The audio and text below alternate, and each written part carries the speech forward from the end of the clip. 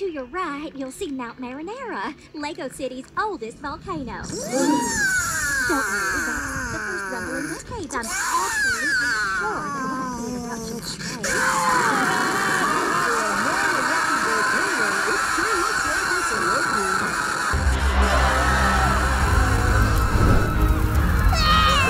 Oh, wait! It reminds me of Grandma's cooking.